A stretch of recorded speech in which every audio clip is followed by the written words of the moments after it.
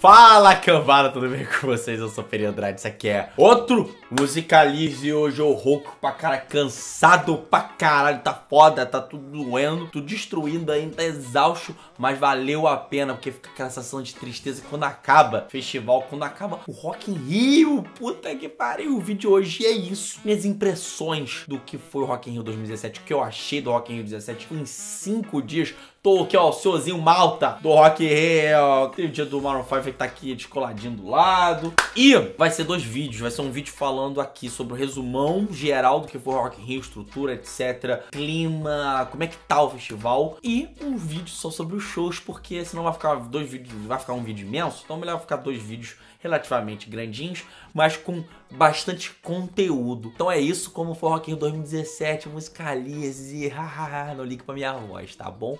Foi.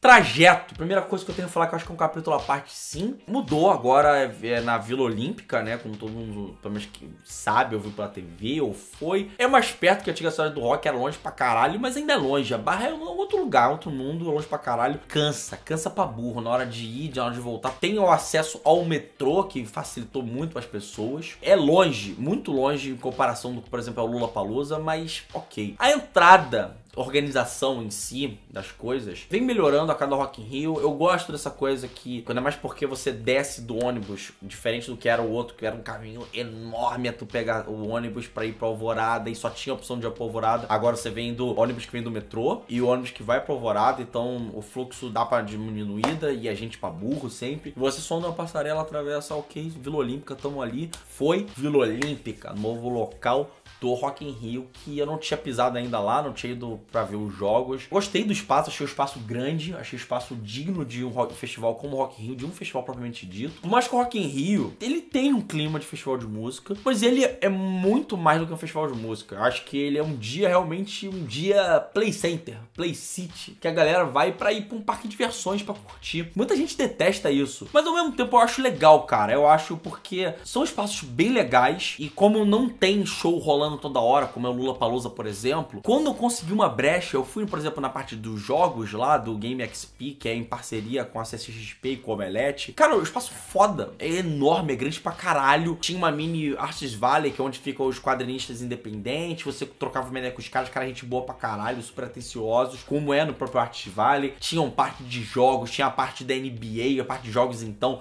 tinha dois telões imensos que você podia jogar ou Switch ou PES. Tinha vários flipper, é, é, aquele pinball de graça, tudo velharia, os bagulhos da minha infância. Eu fiquei maluco pra querer jogar alguma coisa, mas não dava mais tempo, mas eu fiquei rondando ali, muito legal. É uma área muito gostosa, muito divertida, dá pra, ainda mais que você for com criança, dá pra levar lá e se divertir. Nego jogando Just Dance, competição disso, teve competição de cosplay. Então foi uma área à parte, até para quem, por exemplo, se amarra muito é na CCXP e nessa coisa. Teve a coisa dos youtubers também, que é uma febre. A galera gosta muito, teve o Whindersson Nunes, o Castanhari, que nego vai lá pra ver ele fortemente e às vezes vai para ir para um ver um show só no dia. Então beleza, cara, virou essa porra toda. A experiência que eu senti no Rock in Rio, eu indo cinco dias, é que o Rock in Rio não faz experiência como é o Lula, de que você vai curtir a experiência no geral se você for o final de semana, se você for no sábado e domingo e agora na sexta-feira. A experiência do Rock in Rio é para um dia, não que os outros dias não sejam. Eu até acho que eu por ter ido mais dias, minha experiência foi mais, foi mais legal, porque eu só consegui no terceiro dia na parte do game, eu não iria se fosse outros dias, porque eu só fui para ver show, ou não consegui chegar mais cedo para fazer isso. E eu queria realmente ver o máximo de shows que eu poderia ver. Mas essa sensação que eu tenho de um dia só, primeira questão dos próprios shows, que às vezes você não vê muitos shows memoráveis no mesmo dia, você vê dois ou três no máximo, e até coisas que você realmente queira ver no mesmo dia,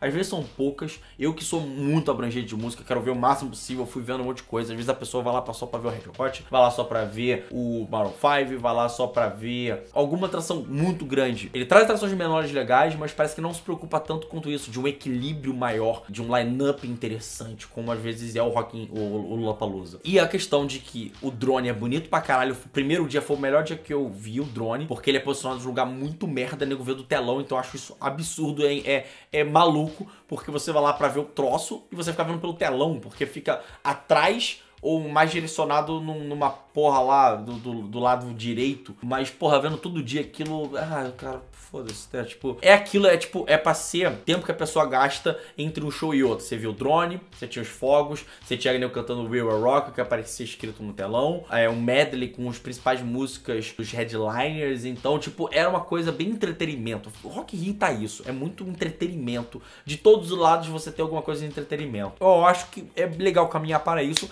Esquecer da música dos lineups. Tem virado um ponto fraco do Rock in Rio. Esse especificamente foi um ponto fraco. Por mais que eu vi ótimos shows, mas só vi ótimos shows porque eu fui em cinco dias. Não foi aquele dia que antigamente o Rock in Rio ia um dia, via show bom pra caralho, uma porrada de show maneiro que tu queria ver. Esse foi um pouco mais difícil de rolar isso. Questão dos palcos, eu quero comentar isso fora do questão dos shows, porque eu acho incabível, loucura, etc, que em 2017 não tenha vários palcos acontecendo ao mesmo tempo. Não tenha é, essa coisa de você ficar lá sentado esperando que nego está montando o som pro próximo palco. Beleza, tem a área de game que foi muito foda, muito maneira um acréscimo até bem bacana pro Rock in Rio, mas eu preferia que tivesse um outro palco. E a tenda eletrônica no Rock in Rio é muito fraca, como diferente do Lollapalooza que tem o hip hop que me fazia ir ver coisas lá também. Eu não fiquei interessado em ir lá, mas essa coisa de você, tipo assim, todos os shows do Sunset, aí quando chega no último show do Sunset, vai pro primeiro do mundo, aí vai pro último do Sunset. É a única hora que tem alternância de um pro outro. E mesmo assim você ainda fica esperando o nego montar a porra do palco. Qual é coerência? Você é pra chegar lá e tá com o bagulho pronto e, meu irmão, porrada neles. Tinha coisas que eu não queria ver. Ou simplesmente eu preferia queria ver outra coisa. Eu acabei vendo aquilo porque não tinha muita opção. O Def Leppard foi um show legal, assim, mas eu, se tivesse outra opção, estaria outra opção. Porque se você tivesse três ao palcos ao mesmo tempo, não faria as pessoas ficarem cansadas, porque as pessoas ficam cansadas pra caralho vendo aquilo. Eu fico, às vezes, no se acostumado que eu não conseguia sentar com minha coluna toda arrebentada para ver aquela porra. Outros dias eu fiquei assim também, que eu não tinha como sentar. Além disso, cria pequenos espaços de 15 a meia hora, se não mais às vezes,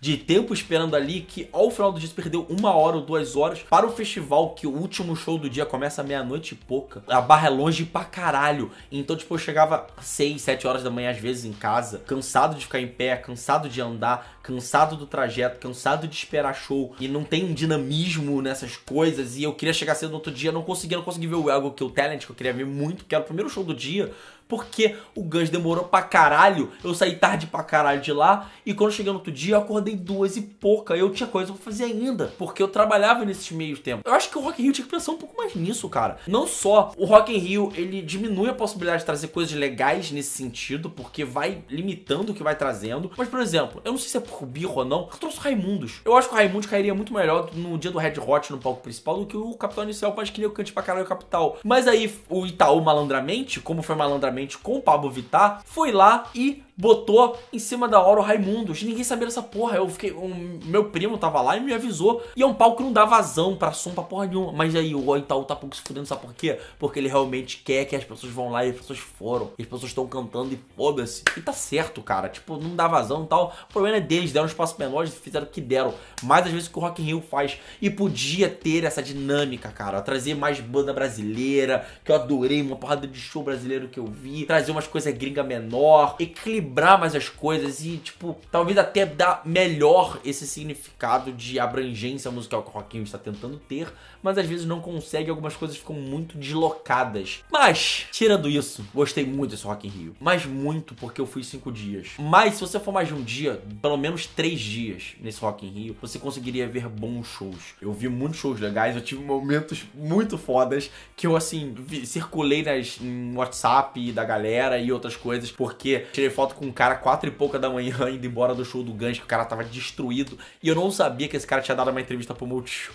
E o cara, Bruno Deluca, morreu com essa porra. A amiga minha tá trabalhando lá dentro. Na próxima começou a compartilhar foto disso. A galera tava bem disposta, cantando uma, uma parte das coisas. Achei isso ótimo. Porque é um público muito casual, o público do Rock in Rio. Eu acho que isso às vezes é ruim. Mas na maioria das partes das vezes desse Rock in Rio eu senti muito uma coisa legal. Porque diferentemente de outras edições, esse foi o primeiro Rock in Rio que eu não senti a galera com uma veia babaca. Seja os rockistas eu acho que são muito babacas de vez em quando. Seja galera muito casual que, tipo, tá ali pra gralhar. Todo mundo tava muito disposto a ver tudo. Seja coisa um pouco mais pesada como o Walter Bridge, seja coisa muito mais popular como o Grande Encontro, que foi um show maravilhoso. Vou falar no vídeo do show disso especificamente. Eu acho, cara, que, tipo, falar mal do público do Rock in Rio dessa edição eu acho, acho um pouco ruim. Porque por mais que o nego seja muito casual, se tivesse equilibrado melhor algumas bandas, tivesse equilibrado melhor alguns dias, ou tivesse mais palco, sabe? Tivesse mais shows, provavelmente dito, que ficou faltando do show, na minha opinião, mais espaço para música em alguns momentos, teria menos a sensação de que o festival é muito entretenimento e menos música, mas assim, paciência, cara. E eu indo em cinco dias eu realmente vi muita coisa boa. Cara, eu me diverti, me diverti pra caralho, me emocionei, chorei com uma porrada de show que eu queria ver, com um show que eu não esperava que eu ia chorar. No final dos shows, tinha lá Sérgio Lourosa, tinha que Sandra Cruz, Simoninha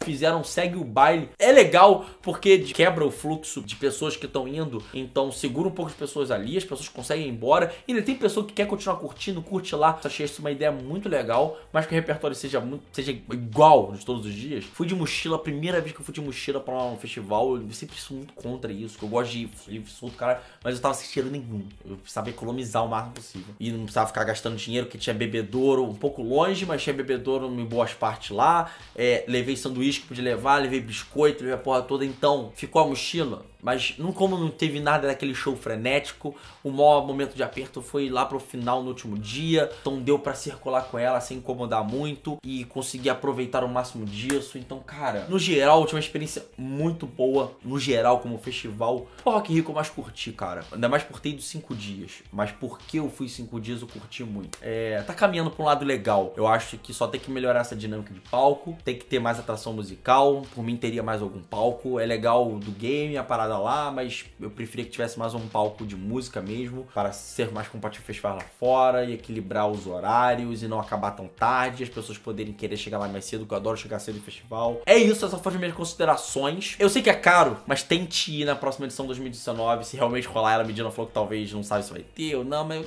vai rolar, né? Provavelmente. Tente o máximo dia que for, cara, porque é legal essa vibe de festival, é legal você curtir o dia, é legal você conhecer bandas que você nunca ouviu falar ou simplesmente para você curtir lá os momentos, cara. É um pouco caro, eu sei que tá ficando caro, mas vale muito a pena, cara. Vale muito a pena. Pelo menos mais de um dia, vá, vá e se divirta, porque vale a pena.